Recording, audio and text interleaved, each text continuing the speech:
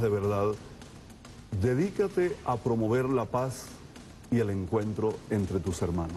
Vamos a ver qué fue lo que sucedió, un pequeño video de lo que sucedió en la iglesia Santa Teresa. Adelante, señor director.